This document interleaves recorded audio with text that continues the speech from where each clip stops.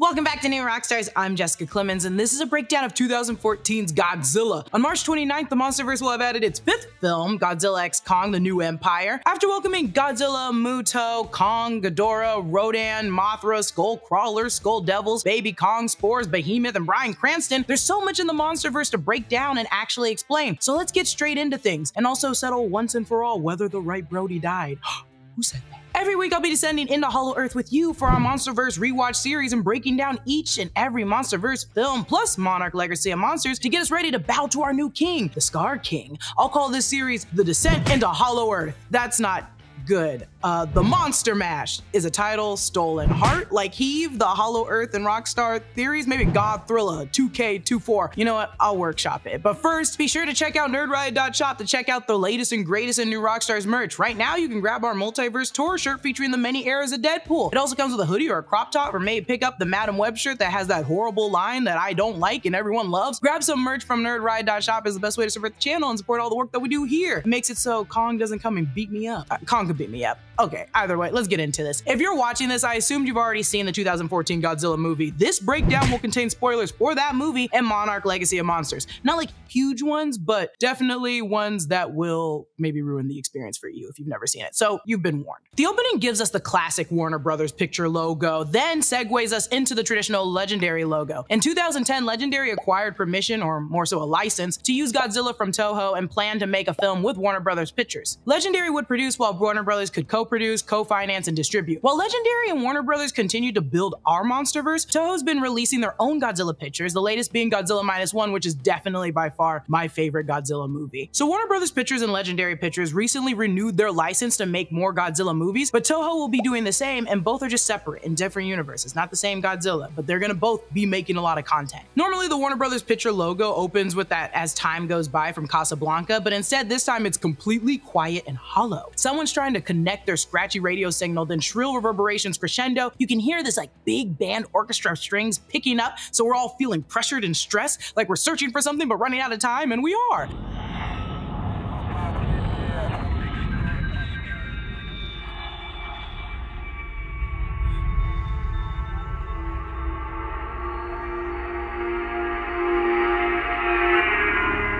The intro montage hurls us into the history behind the famous creatures that came before us. Mostly every image is followed by evidence of their existence, man's plan of attack, and redacted statements that hold some Easter eggs. I love beginning the movie this way because there's no dialogue, and it does such a great job of setting up the importance in the history between us and the creatures to understand where we both are in the world. And if you remember the beginning montage, it's kind of long, it's like two minutes, so I'm gonna be getting into it in depth kind of like right now, so buckle in. We start with a cave painting, I believe, of Godzilla, given the spikes down their backs. Warner Brothers, a legendary pictures present a terrifying tale of disaster and woe. The image depicts St. Brendan the Navigator. The image itself comes from this book, title right here. You know your girl can't read that. A book written in 1621 about a monk on a voyage to a strange island where he encounters many monsters. So this is basically hinting at that being a true story. We couldn't find the exact reference for this one, but looks very similar to the images Hawkins sea dragons. Thomas Hawkins from the 1800s was an eccentric fossil collector. He had a collection of Ichthyosaurus and Plesiosaurus remains, which this appears to be an image of, and I'm sorry, those animals are so hard to pronounce. Charles Darwin's on the origin of species by means of natural selection or the preservation of favored races and the struggle for life. This is a book that outlined evolution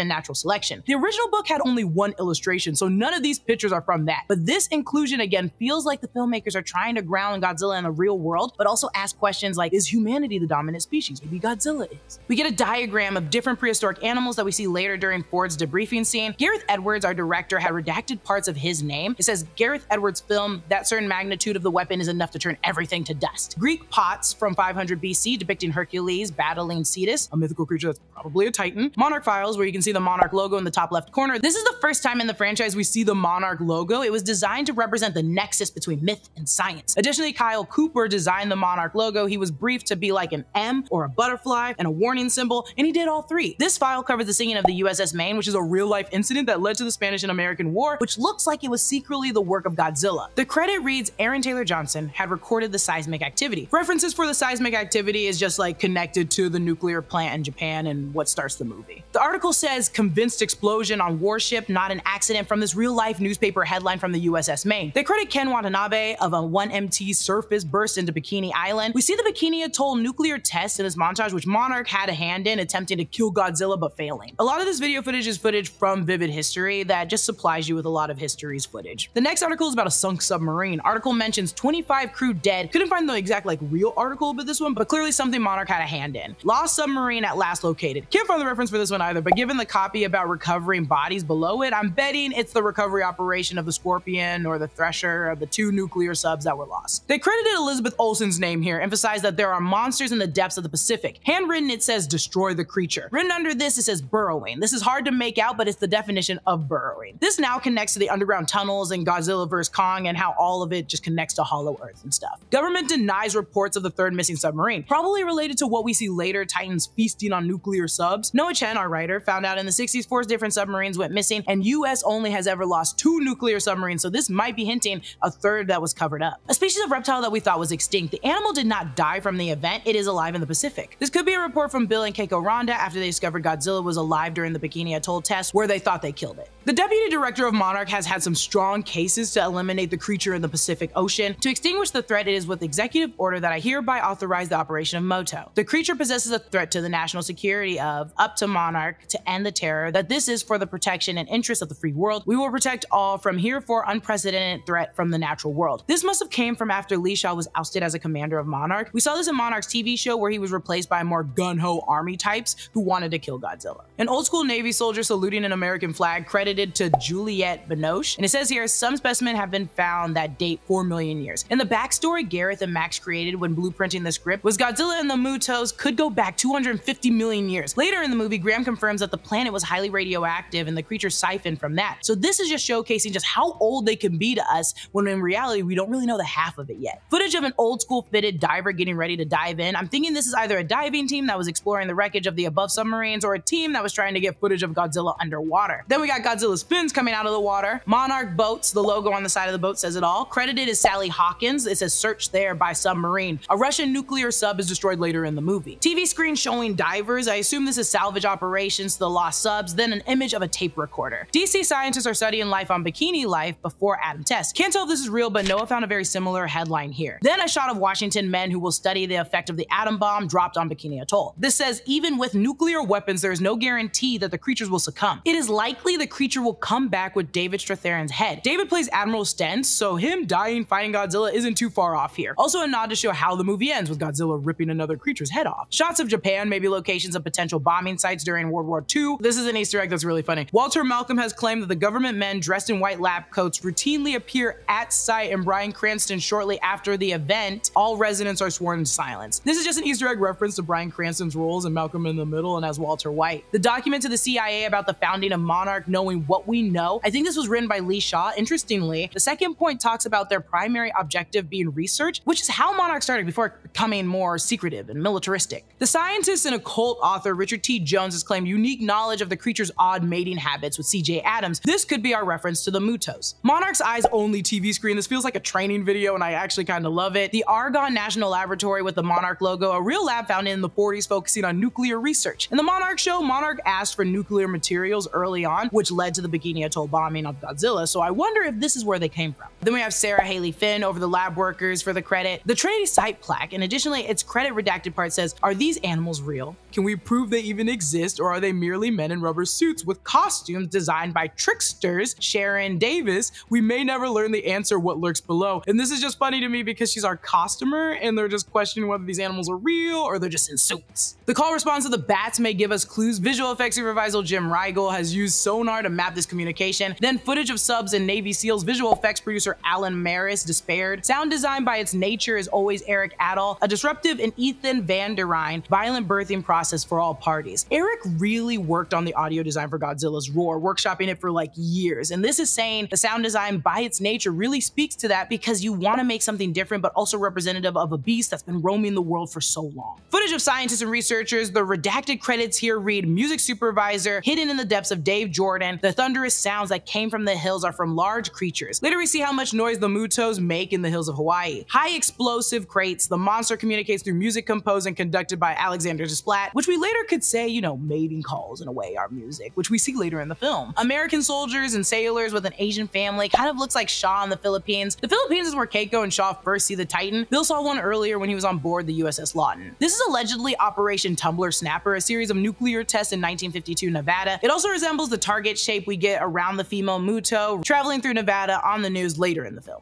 Then it says not to be discussed by film editor Bob Ducsay. The confidential document must not be shared. Monarch training video showing test bases in Marshall Islands, the Bikini Atoll location. The Illuminati has been using production designer Owen Patterson to build facilities to hide their study of the creature and its origins. All clues are suppressed. Monarch's logo on the bomb, then a satellite and radar imagery. The bomb site is classified and will be detonated at 0800 Pacific. Director of photography Seamus McGarvey will shoot. There will be no living organisms on the island. Then we get some more Bikini Atoll footage. Executive producers Yoshimitsu Banno, Kenji Okuhira are looking into the possibility of hunting Mutos over footage of us hunting Godzilla. More footage here of the Bikini Atoll natives, and unfortunately, the people living on Bikini Atoll were forced to relocate by the US and were not treated very well at all during the time. Produced by the fire breathing Thomas Tull. Fire breathing is right because this is the CEO of Legendary Entertainment at the time. Nuclear test observers put their glasses on. We saw this in the Monarch show, but we also saw this in Oppenheimer. This was shot on the USS Missouri in Pearl Harbor. Then we get some more shots of Godzilla and Bikini Atoll. And then we get a shot of the bomb. This was recreated in Monarch, though there are some discrepancies. They painted Godzilla on the bomb, but in the Monarch show, they didn't really know anything about him at this point, including his appearance. This credit sequence makes it seem like Monarch had some idea of Godzilla by the time of this bombing happening, but the show retconned this. The final redacted credits say reliability of these sightings is still questionable based on the character witnesses. One must ask, is Godzilla owned and created by Toho Company Ltd? Reliability of these sightings is still questionable, which could be a nod to the fact that Monarch has been known to keep secrets and destroy evidence. This is a carcass first described in Japanese story by New Zealand fishermen in 1977. The carcass, David Callaham, was decaying and weighed 4,000 pounds. This dinosaur has been dead for about 30 days. Pseudoscientists tried to say this was mere basking shark. This is a sea serpent-like corpse that the Japanese fishermen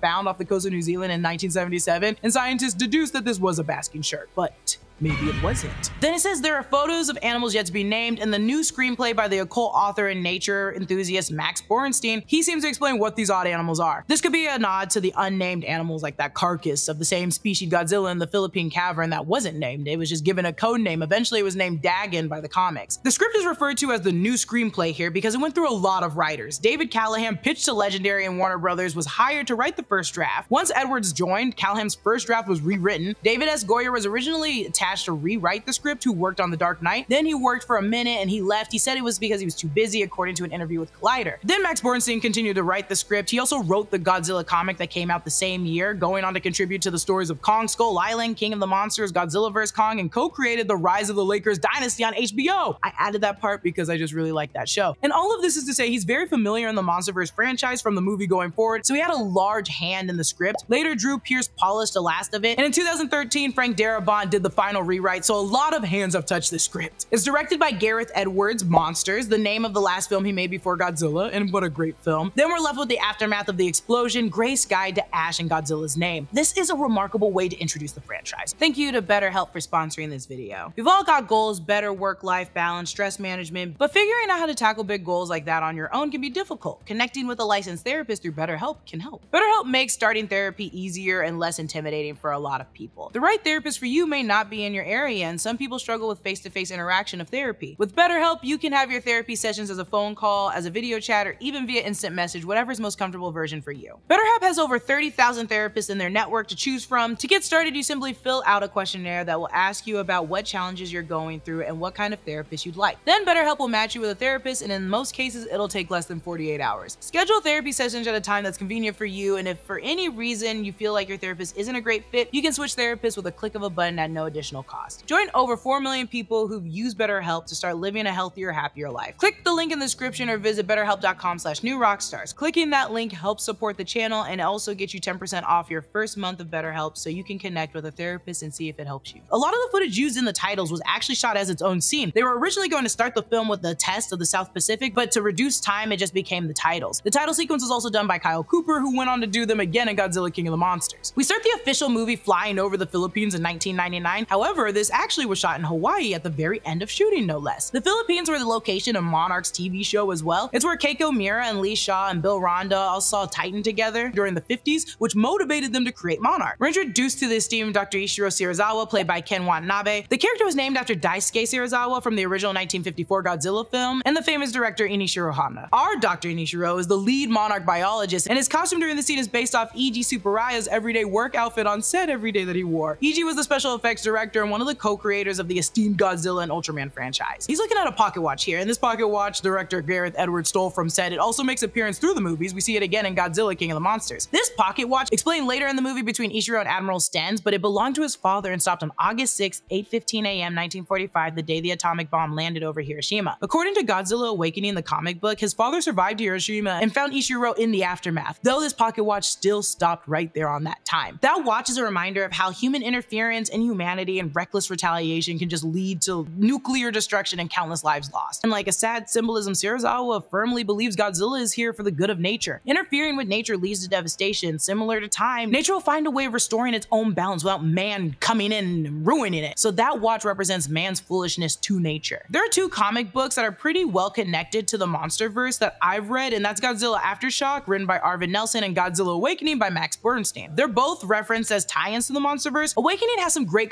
confirmations, but Aftershock has some events that didn't line up canonically and contradicted some of the film. We don't know if it's still canon, but Max offered what we didn't see on screen could have been kept secret by Monarch. Though I think like Monarch Legacy of Monsters is kind of clearing that up right now. I'm mainly noting this because there might be some stuff I reference from that material, but you deserve to know whether it's uh, good or not. Honestly, the comics sometimes feel soft canon, but luckily they try to follow the movie's lore. They just want to like blow it up a little bit more in the comics. Next to him, Sally Hawkins, who has joined the cast almost three weeks after filming started. Her character is Vivian Graham, monarch paleozoologist, recruited by Serizawa. And what we're seeing here is her first field assignment with Dr. Serizawa, investigating the collapsed mine that they discover a huge skeleton referred to as specimen 5146 underscore Adam. In Godzilla Aftershock, they revealed the creature as Dagon. This outpost is later called Monarch Outpost 14 in the same novel, a call out to the year this movie came out. This was meant to be a uranium mine. Once they got the signal of radiation, a month before they arrived, the men brought their tools that immediately sunk the mine, exposing the underground cavern. Essentially, my understanding is the spores were dormant when they had the radiation they needed. They're generating their own radiation underground, and over time, the atmospheric pressure, let's not forget the mining into the planet, released the radiation as a leak, exposing it to the air, thus waking up the larva in the pod.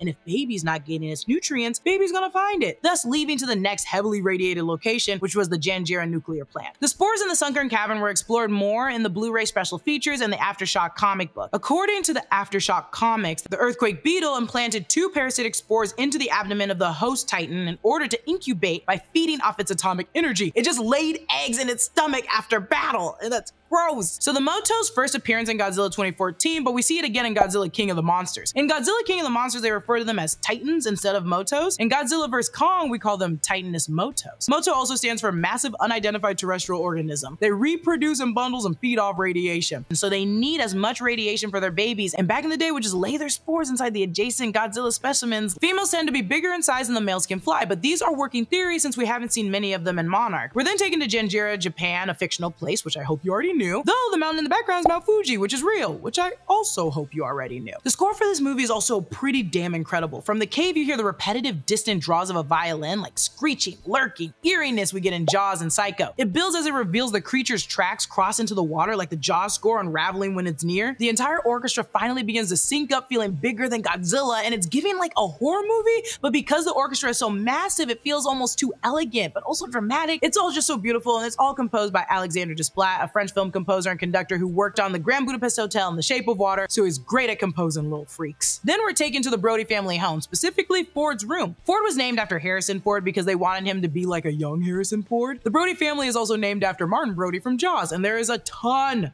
of homages in this film to Jaws. We'll get into them. His room is set up like any young boy's room would be. Toys are just everywhere. It's a mess. The poster, though, next to the exit has a lot of Easter eggs. It says, let them fight. Probably the single most popular line from the franchise and has been noted to have imagery that foreshadows the end of the movie. It's Godzilla versus the Muto and the train lifted. They're fighting in San Francisco and you can see the bridge. But below on the ground, he has military tanks, dinosaurs, and soldiers all around his spaceship. All imagery we'll be seeing later in the movie. We don't get a spaceship per se, but the ship looks exactly like the missile we're using to lure the monsters at the end. They both also have the same US flag stamp of approval. On Joe Brody's old ass 90s computer in his office is the graph to track the tremors that the creatures are making. In later movies, we see that they use just a seismic reader and Jia to follow their movements. Here we're tracking their echolocation and the electromagnetic pulses they're creating. We're now introduced to Joe Brody, played by Bryan Cranston, and his wife Sandra Brody, played by Juliette Binoche. Both work under Monarch as nuclear engineers. And yes, Bryan Cranston is wearing a wig because a day before shooting this movie, he finished Breaking Bad. Once inside the plant, the man trailing behind them is Dan Walsh, played by Gary Chalk, the voice actor for Optimus Primal and Beast Wars, and it just feels too easy to not call that out. Inside the control room is pretty sick, and I think this movie did a really good and cool job imitating Japanese power plants and staying as accurate as possible to the 99 aesthetic and design. This nuclear plant location was actually a sewage factory, so it just smelled like shit the entire time, says Gareth Edwards, which again lends itself to the broad and empty nuclear plant aesthetic without having to build a soundstage. You can just keep it all practical. The crazy thing about this was in the movie, a lot of people misinterpreted the graphs reading for the earthquake. Later, Monarch hides the incident under the guise that it was an earthquake. And three years before this movie came out, it was in development the same year as the earthquake that led to the Fukushima nuclear accident. Seeing as Godzilla has been linked to Hiroshima and the Bikini Atoll nuclear test, fans assume that the 2014 Janjira breach was a reference to the earthquake tsunami that caused the nuclear accident in 2011, especially after Joe confirmed that they had been covering it up, saying it was a typhoon. Gareth Edwards did say, though, in an interview that this film is not based on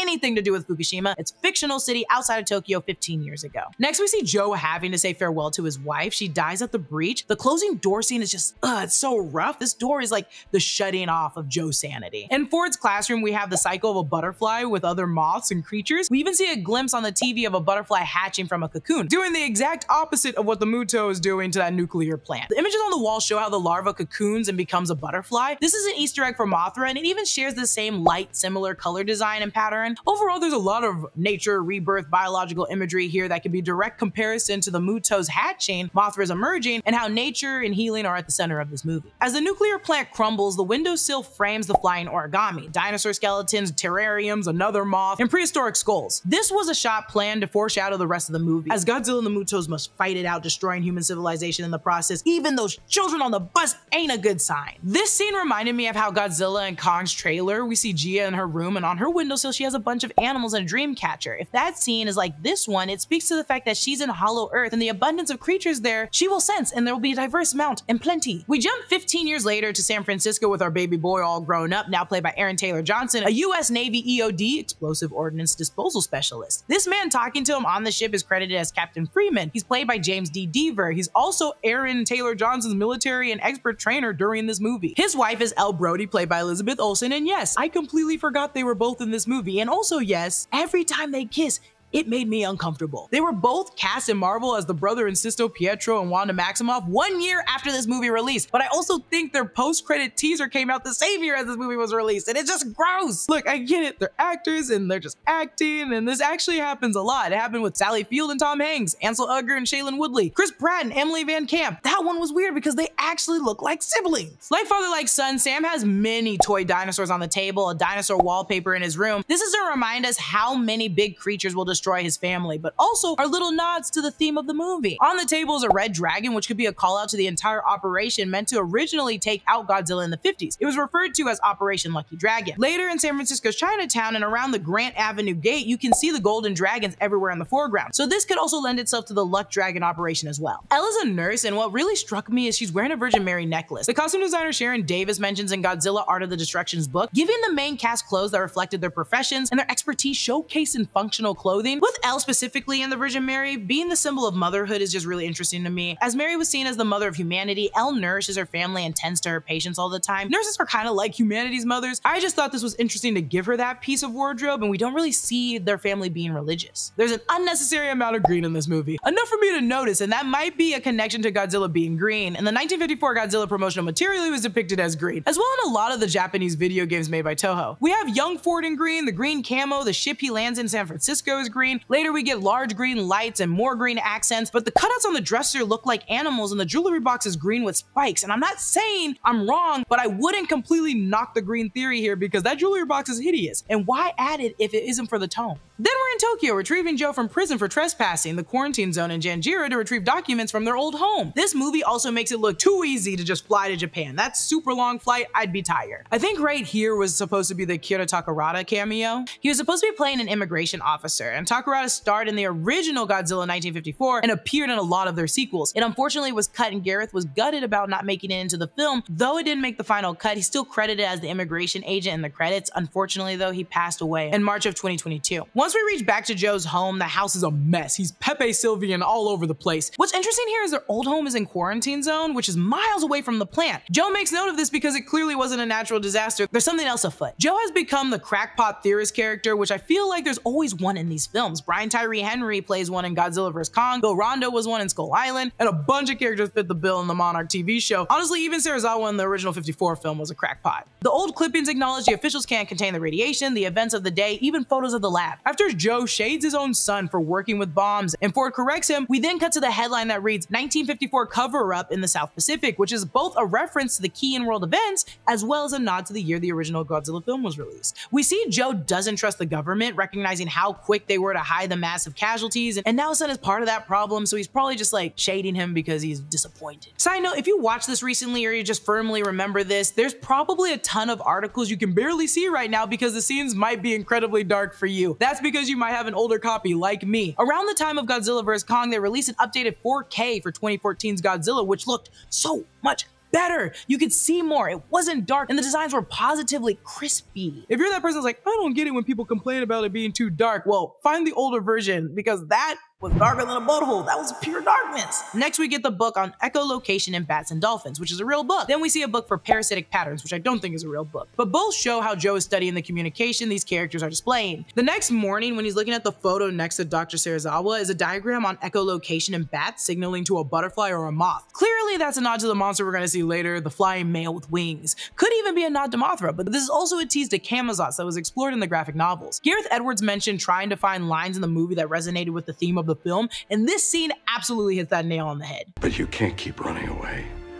And son, you can't bury this in the past. Which is truly a note he should be taking, but also does make sense for when the Titans arrive. To not run, just fight. Might be a theme for the movie, but doesn't make it a good idea. The quarantine zone of Janjira City was flipped on its head. It's been 15 years since people have been evacuated, and all that's living other than the Monarch security and the cocoon being are a bunch of dogs. The whole quarantine sequence is a callback to the Monarch TV show, where there's also a sequence of breaking into the quarantine zone to retrieve old data. We reach the old home of Brody and immediately see a bunch of bugs and creepy crawlies, a roach on a military tank, and a literal terrarium that says Ford's Mothra. The egg of Mothra? I don't know. Also, the military tanks that get manhandled later on are probably connected to this imagery. Back at the Janjira plant that we haven't seen in 15 years, the logo is still kinda standing. This movie has some homages to Jaws and Jurassic Park, but for sure that sign is given Jumanji. I love how overgrown everything is. This is pretty natural, but also in King of the Monsters, I think they said that the Titans can terraform or replenish ecosystems, which it really looks like is happening right now. Gareth Edwards mentioned Close Encounters of the Third Kind being a huge inspiration for this movie, and the entirety of Monarch covering up Janjira is really giving Close Encounters of the Third Kind. Also, when he realizes it's a hoax and he takes off his mask, that is also a direct nod to Close Encounters of the Third Kind. You can see the cocoon it's put itself back into in the light up of the embryo holes that were featured in the Blu-ray special features. We saw something similar to this in the Monarch show in the 1950s, where a previously radiated area had no radiation in it because the Mutos eat radiation. So the Muto larva traveled all the way from the Philippines to Janjira, and this is what the spore now looks like. You can even see how the graph matches the same levels the day Joe was trying to set up the meeting from the office. The security guard standing in at Joe's interrogation is wearing a Muto symbol on their arm. Earlier in the film's development, Monarch was originally going to be called Muto, naming themselves after the monsters they searched for. This Muto research facility kind of studied the male Muto while Monarch still existed overseeing it a little bit, because the captain later mentions the US military taking over operations of what Monarch was working on. In this scene, Bryan Cranston really ate up this line delivery. He came straight off Breaking Bad and he wanted us to know. And you can't tell me otherwise. He is fed up. He's been searching for the answers and withdrawn from his own family. He yells about the EMP, the electric magnetic pulse, eventually sending us back to the Stone Age, which it will do if the Titans rise up and take over the planet. If remember when I mentioned Gareth trying to find lines in the movie that resonate with the theme of the film? I think this line delivery from Joe is the warning the voice of reason character always gives in movies like this, setting up that we never be prepared for a battle with nature. Then the moment we've all been waiting for, a little over 30 minutes into the movie, and we see our Muto. In concept art, the full-fledged design was inspired by King Kong, Alien, Jurassic Park, and Starship Troopers. It definitely has the head of Alien where it looks like it like has no eyes, but it does. Jurassic Park's movements of the prehistoric animals. Also, the scene of it reaching out of its enclosure, breaking the wires is very similar to the scene in Jurassic Park. The Starship Troopers of it all just feels purely in it being a giant insect, and I still love it. Then Joe falls, and I'm sad to say later he succumbs to his injuries.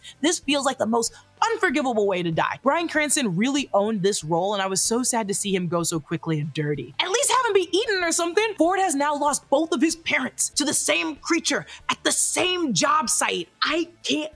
God! Gareth Edwards backed up his decision killing Joe, though he understands why everyone's upset, mainly me. He said they tried versions of the script where he survived, but then if he was stuck with Ford, it would become the Indiana Jones in The Last Crusade, and if he stuck with the military guys, he'd just be a fifth wheel. I get it, but god damn, he went out dirty. The creature then flies away, and this is insane. When creating their design, they looked at how like bats sometimes cross their wings. Ultimately, they wanted the Mutos to feel like its wings were capes, and the grasp of the wind under that thin layer of skin echoes as Ford passes out. We jump to a news outlet, and the cut and editing are so good on this film, but especially right now, because it suggests even in the editing, there's no creature, only natural disasters. It says it was hit by a 6.3 earthquake, causing fires and more radiation leaks. And I'm assuming if the radiation leak is true, that has resurfaced from the Muto's spore opening and releasing a little bit of radiation. We're then introduced at the wreckage to Captain Russell Hampton, played by Richard T. Jones. He interrupts Dr. Serizawa as he looks at all the dead men that were working in the control with him prior to the hatching. They're all just dead. We're at the USS Saratoga now on the coast of Japan. The USS Saratoga participated in the test that the US staged at Bikini Atoll. We're then introduced to Admiral Stantz again, played by David Strathairn. Admiral Stantz appears in Godzilla King of the Monsters as well, and these guys have to keep a visual pursuit on the Mutos because it keeps wiping out their satellites and radars with their EMPs. All the news footage that we see on the screens was actually shot by Gareth Edwards and the DP Seamus on consumer camcorders. They were running around with soldiers imagining giant monsters were chasing them, and they just had a ball of a day. They began briefing Ford on all the work that they've been doing and the video files log. We learned from Graham and Serizawa in 54 the first and real operational nuclear-powered submarine reached the lower depths and awakened Godzilla. This is the same year the original Godzilla film was released. 1954 makes a lot of cameo appearances. All those nuclear bomb tests we did in the 50s weren't just tests. We were trying to kill Godzilla. So the creatures adapted to deep deep underground in the oceans to get radiation from Earth's core. And then us bombing everything all the time is no surprise that it alerts them. During the scene, Ken Watanabe is the only person in the film who refers to Godzilla by the Japanese name Gojira. It was important for the actor to use the actual name and he fought for it. Also, every single line read this man has is great, so why not just let him say whatever he wants? Serizawa says the hardest line again, and it resonates with the theme of the movie. Nature has an order, a power to restore balance. I believe he is the power. During the briefing, we get a lot of historical real nuclear test labs and shots. The orange tone explosion we see is the 1953 Atomic Annie footage of its blast wave destroying the trees. We get the Baker blast from 1946. Footage of Godzilla we saw from the beginning a little bit. The design of Godzilla is always so fun to see because he's always interpreted a little differently over time. And those are the markings I like to see from the directors on their Godzilla movies. They refer to this one as, and I'm sorry if I pronounce this wrong, Girgoji, which is a combination of the director Gareth Edwards and Gojira, the Japanese name meaning Godzilla. A big part of the design with Godzilla was actually in his dorsal fins. When Gareth Edwards wanted to design Godzilla, they wanted these like hard rock parts just coming out like they were a mountain, which speaks to how Gareth really pushed the nature versus man element in the movie, with some features resembling the Skeksis from the Dark Crystal and movements like a Komodo dragon. They finished designing the Girgoji along with Gil since he's always underwater. The diagram of the animals that we saw in the beginning montage, then we see the diagram of an animal that's currently uncatalogued. It's labeled species 5146 Atom, which I spoke on earlier is explored in the comic book Godzilla Aftershock and later named Dagon. Monarch footage jumps to an embryo, something moving inside, then to Carmichael's Cave 1948, suspected burrow site. Carmichael Cave is also in Kentucky. We see more Monarch classified footage that we saw in the beginning montage, then a shot of the D1G test reactor, a laboratory in West Milton, New York. This sphere could also contain like huge, huge explosions in case something popped off. That's why it's like a giant sphere. A contact mine being deployed into the water. Then we see more footage that's available in the Blu-ray special features of the Muto and the Philippines. We're then taken to Honolulu, Hawaii, and their international airport. This kid in the baseball cap is a throwback to the show era Godzilla films that frequently featured child characters in their similar costumes. We see an iguana perfectly sat in front of the camera before we enter the forest. This could be an homage to the 1998 Godzilla, where it was implied that Godzilla was a mutated iguana. I know that this is a nod to Godzilla. There's no way you're gonna put a little green lizard in front of a camera unless it's Godzilla. They find the Muto and it's eating a canister of radiation from a ship. This is all a recipe for disaster. An airport and a creature that can shut down all forms of electricity. Planes will be falling down. They had to get approval preemptively before shooting any of the Hawaii stuff, so they made storyboards effective immediately into development and production because it required so much work. The Muto slams its little claw down and unleashes its EMP echo for miles. They confirm on the Godzilla wiki page that the male Mutos can do it within 5 mile radius because we can see the female one traveling later and she's doing it in a sphere that reaches around like 200. The voice here that says could be a second bogey is actually Allen Maris, the VFX producer. The little girl at dinner walks to the edge of the shore to see a bunch of fish that just washed up on land and are dying. We saw this in Godzilla Minus One because Godzilla dragged them up in his wake. This Godzilla pulled the entire ocean tide rising and swimming into Hawaii. Is that not insane to you? His fins rising out of the water coming towards the ship is also in the same Jaws spirit. This scene is just so cool and I'm just astounded the difference it made once it was released in 4K. The internet also flagged that the song that plays when Serizawa sees Godzilla's dorsal spines protruding from the ocean and when the soldiers shoot at Godzilla as he walks by is actually an update of Godzilla's theme song from the 71 Godzilla and also similar to the 98 Godzilla when Godzilla first emerges on the ocean to the old fisherman in New York. This is also his first appearance in the film and is a little under 55 minutes. There was a lot of fan criticism of the movie because of this. I actually liked it. I think the story works seeing all the chaos start to unfold and realize it's not Godzilla doing it. There's also this tradition of slow reveals in monster movies that I just, what's not to love about it? Godzilla didn't appear in Gojira until 21 minutes into the movie. Jaws didn't show up until an hour in. King Kong set up an entire theme before we meet him on Skull Island. A lot of movies do this. We see a dog tied to a tree escape the tidal wave made by Godzilla, and I don't know if you know this, but if you're an animal lover like myself, there's a website called doesthedogdie.com. This tracks more than just animal deaths in movies, but also very harmful triggers, so you're never caught off guard. Though Gareth Edwards did joke that the dog did survive, so I'll, I'll stick to it. We follow the tide suffocating the streets to a building powering off to the men on top of the roof. The red flares spark in the sky, hitting Godzilla like in the leg. No one screams because the fear sets in, and then we see the dumbest thing we can do, which is shoot at Godzilla. But he doesn't even care. He, he gives us zero attention. He walks around a building. The train lights turn back on. That's a success, but the Muto is there, so unsuccess. Then it bites the train and lifts it into the air, allowing people to fall to their deaths. This scene has been done in Godzilla movies countless times, and honestly, it's like a kaiju staple. You gotta have a train. 1954 Gojira, he's munching on the train. Godzilla minus one, he picked that bad boy up. He just loves munching on trains, and I get it. It's also common to see because there are so many trains in Japan. So if you're a giant lizard that acts like a cat, you're gonna see those trains moving and run at it. It feels like also a heavier homage when we do it because trains aren't that custom here. Also, I don't even think there's a Hawaii International Airport that has a train. Gareth Edwards talked about fudging the scale of Godzilla throughout the film, but genuinely, I don't think anyone really does it correctly. He also increased in height since this film for the other movies. Personally, as long as he stays relative to size with the buildings, I don't really care. Making him the biggest thing on Earth is genuinely, yes, very cool, but also I have some limits. Though an additional thing that I like, Gareth Edwards tried to shoot all the monsters only from the perspective that humans would be at to emphasize their scale. So we don't get a lot of drone shots or anything like that. It's mostly ground level shots and that really makes things feel like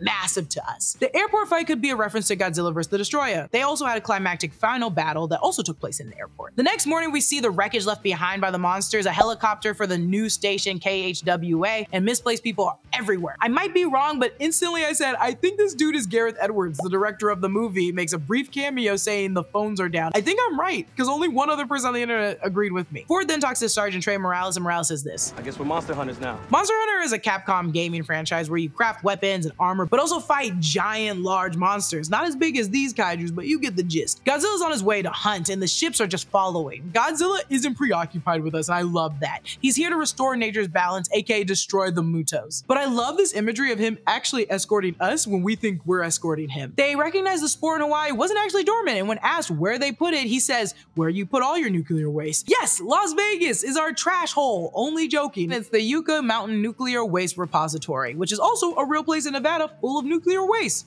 Don't go there. A similar hole to the one in the Philippines made by the male Muto is now created on this side of the Yucca Mountain. Through the soldiers' binoculars, we see a stunning view of the Luxor, Mandalay Bay, and other fine Las Vegas hotels. And oh, what's that to the right? The giant female Muto? Ready to party? This scene is funny to me because everyone's gambling while the news footage says live, terror in Vegas. Thousands are feared dead in Honolulu. In that footage, you see that she's taking down Planet Hollywood. What will we do without Planet Hollywood? I need those jackets. And oh no, she's destroying destroying Caesar's palace. Where will Celine go? The Farfars open the doors inside of what looks like the Venetian, but on this side of Caesar's palace is the Flamingo. In the background, that would make that building over there the Rio, and she didn't smash the Rio because my girl has taste. Also, it's playing The Devil in Disguise by Elvis Presley, which is just so fitting. I assume all of the people of Vegas think this is a giant demon and they're entering an apocalypse where they were not raptured because Vegas is for sinners. A side note that I'm very sure Edwards wasn't thinking about. In Lilo and Stitch, Stitch creates that mini San Francisco scene and destroys it like any monster would do. The next Elvis song that plays in that movie is Devil in Disguise, and then he freaks out again. What I love about kaiju movies also is that they always gotta mess up historical monuments or something culturally significant. And the female Muto destroyed Vegas's Eiffel Tower. We even see footage of her taking it down in the next scene. Gareth Edwards mentioned taking down Vegas for a kaiju would be like going to Disneyland because it's all miniature versions of all major landmarks. We learn that the Mutos have been communicating as mating calls. The female stayed dormant and once the male awakened, according to Dr. Serizawa, their plan is to lure the beast with radiation bomb and then kill them. That's when Dr. Serizawa shares his story of his father with Stenz and uses the pocket watch as symbolism of what working with nuclear warheads can do. Edwards is the name of the airplane carrying the soldiers. This could be a direct call out to Gareth Edwards, the director, or just a reference to Edwards Air Force Base, which was a bombing range in 1933 and later later became a major bombing training base in World War II.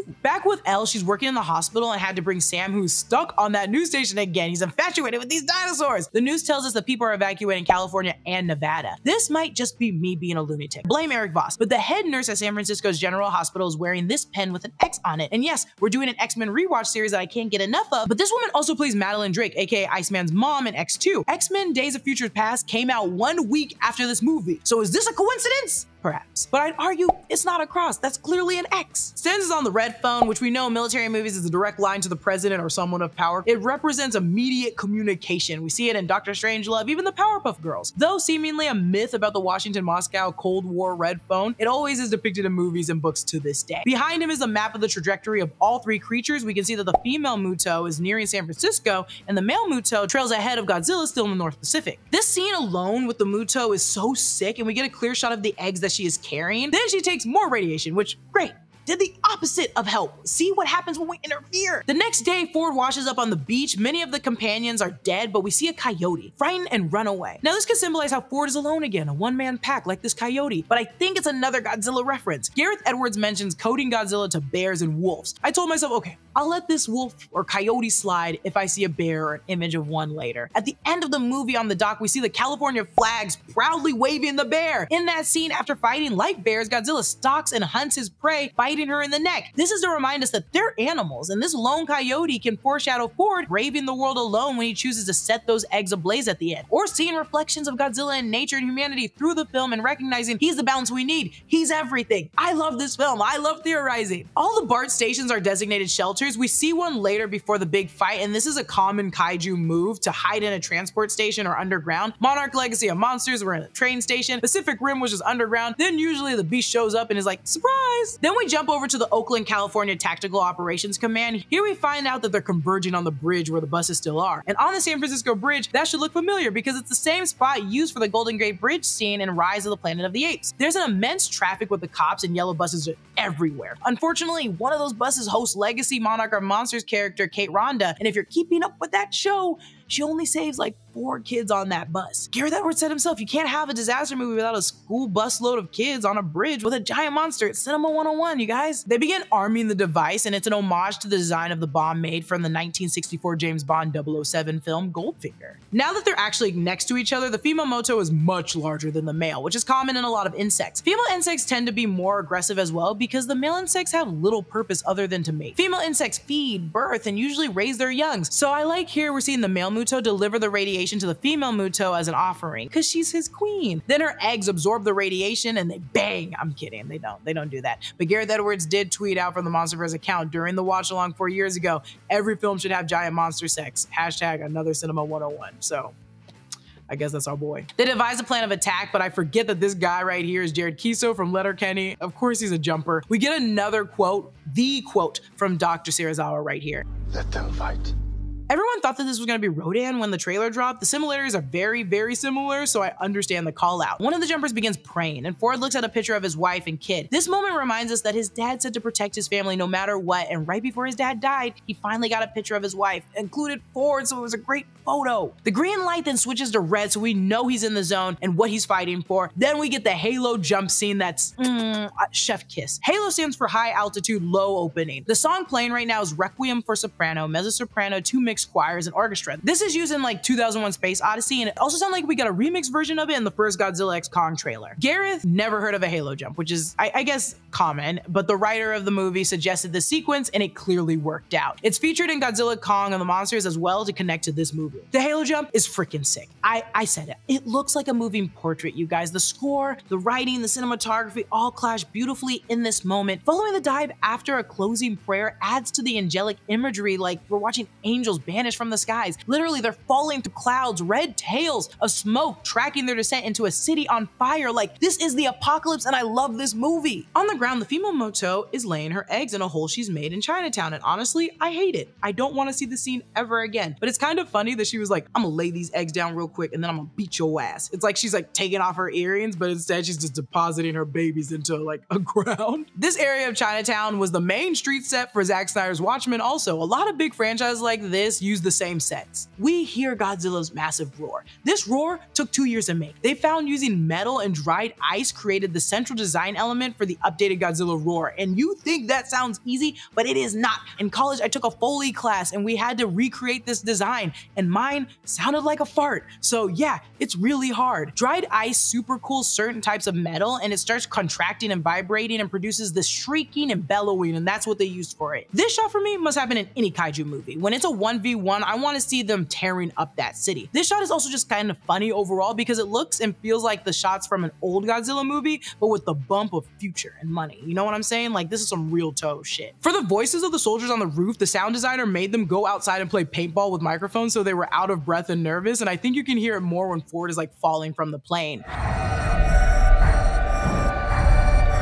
When Godzilla is getting double teamed, I just want you to hear how dramatic the score is for a second.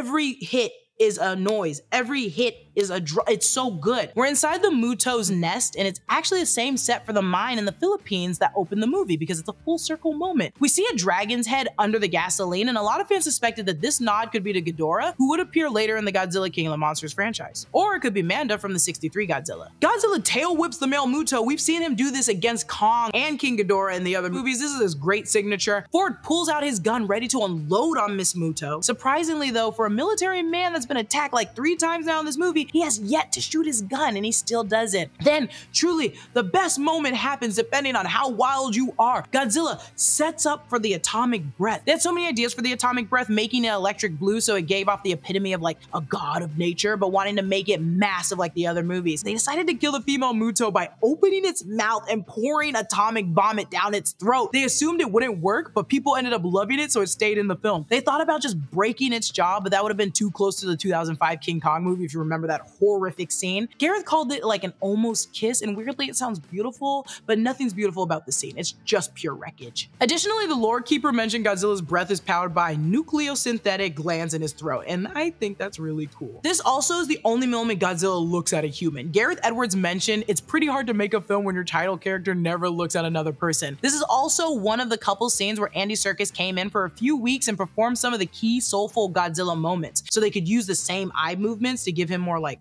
soul. The ship Ford gets on with the bomb says, Go whales on the side. This is a reference to Gojira and the Japanese word for Godzilla, which has a combination of the words gorilla and whale. After Godzilla vomits down the creature's throat, separating her head from her thorax, the lights come back on around the city, but the ship Ford's on sails away. And like that, Godzilla and Ford collapse tired from their battles. The next morning, the first responders are saving folks from under debris when Godzilla awakens. On the other side of the story, Elle, Sam, and Ford are finally reunited. The stadium is BC Place Stadium, Vancouver, Canada Canada. And I'm sure overall it wasn't really thought of what to name the stadium because the only stadium in San Francisco, like in San Francisco, is the Chase Center, but that didn't open up until 2019. I think the biggest takeaway, bigger than the arena, is Gareth Edwards says, You can argue that Ford died here and the stadium is heaven, but I don't think he is. I think he's alive. The breaking news refers to Godzilla as the King of the Monsters, an Easter egg for the third movie to come with the same title. Originally, the screenwriter Max made a cameo here, though Gareth said his acting skills were not as good, so they cut it. And I'm sure they just cut it for time, it wasn't his acting. Everybody cheers as the Pain Godzilla makes his way back to the water. The Rocky films were actually the inspiration for this end sequence, and I hope you remember the end of the first Rocky movie where he gets his ass kicked, but he wins and screams,